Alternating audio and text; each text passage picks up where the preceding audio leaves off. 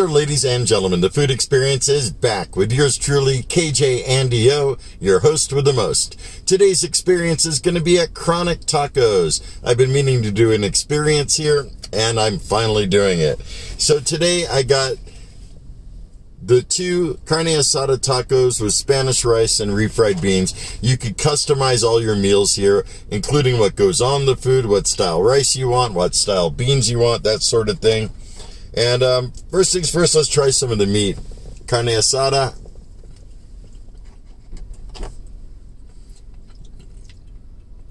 Definitely nice and tender.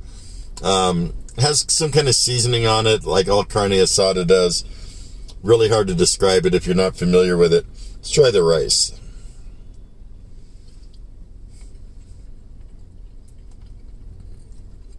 Really good Spanish rice. Has a little bit of seasoning to it, but not much. It's pretty bland. Um, definitely cooked to perfection, though. It's not mushy. It's not hard. Right in between the way it's supposed to be. Let's try the beans.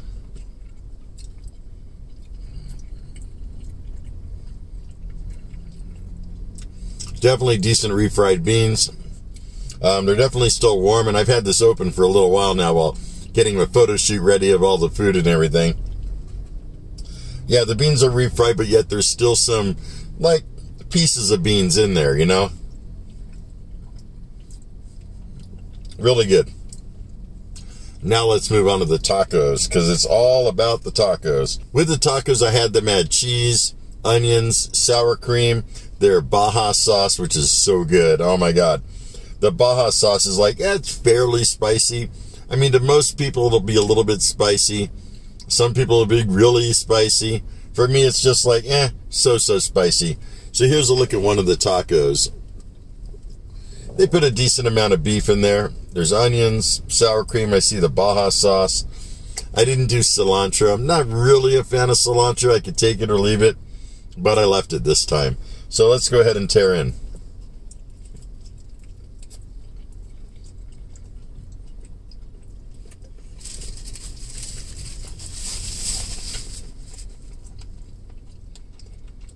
Oh, that's good. I had them use corn tortillas. That's another customizable option. You could choose flour or corn.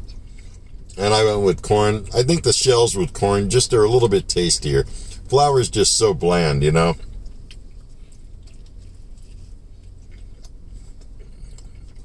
Oh yeah, I got the sour cream that time. The shells are still soft, but you can tell they've been grilled. The beef is perfect. It's tender. I've had more tender, but it's definitely not bad for something that's like mass produced, you know? Sour cream is great.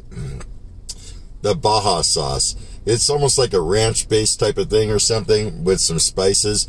I mean, it definitely leaves me a little bit tingly, just not a lot. They use two shells, as they should. And what I'm going to do now is go ahead and introduce some rice and a little bit of beans to the taco. Kind of makes it like a burrito, doesn't it? Except it's open.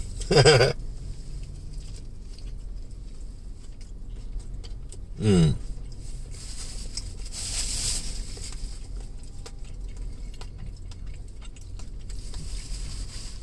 I'm to have to get one of the burritos one day. I haven't tried a burrito from here. Some stray meat there. Beef. It's what's for dinner. And I also love that they have the freestyle Coke machines. So I was able to make a combination of flavors and I chose Mello Yello and cherry. You can see it's cherry. That is a good drink right there. Add some alcohol and wow, that would really be something. But I wouldn't be in my car then. Yeah, really a great taco, folks. I believe the whole plate without the drink was around seven bucks. Definitely worth it, in my opinion. And the pieces of carne asada, they're pretty big. It's not chopped up finely like it is at some places. And it's not too coarse. I've seen it where it's like too much, too thick. This is just perfect. I walked into the restaurant. There was another couple in there. Got their employees behind the counter wearing the face masks. That's a new in style thing right now, those face masks, you know? of course, I had a face mask on. You have to, or they will not serve you. Just how it is right now in these times of the unpleasantness. Boy, that is good.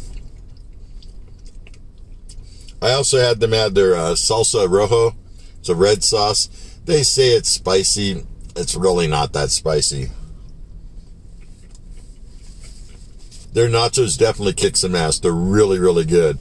Um, I've also had their chicken soft tacos, and um, with the nachos, I've had chicken, I've had steak. Either case, they're really good. They give you a lot of food, and for a decent price. I mean, not expensive, but not cheap either, you know? It's definitely no Taco Bell or anything like that. It's definitely many steps above that as far as I'm concerned. So I've been coming to Chronic Tacos uh, a little bit more than a year now. Um, I try to make it like, you know, once every couple weeks I go here. Definitely good food. If you have a Chronic Tacos in your area, I highly recommend checking them out if you have not checked them out. Definitely good stuff. Uh, for something that's a chain, it's not even too big of a chain, but um, there's enough of them out there that hopefully someone will be able to take something from this review, you know? So go check it out if you have one near you. Um, the place was clean. It always is pretty immaculate when I go in there. Employees are friendly. One guy was kind of joking and stuff. Um, food is always served fresh. I really don't have any cons. There's nothing I could think about with this food that I could bag on. I mean, it's all really good. So go check it out at Chronic Tacos. Other than that, I'm going to buzz out of here because I want to finish my meal in peace. So that being said, thanks so much for watching. And if you like what you see here, please like, comment, and subscribe. With that said, have a stellar day. Be excellent to each other. And most of all, remember me. I am KJ Andio, your food experience host with the most. Take care, my fine folks, and I'll see you next time. Peace.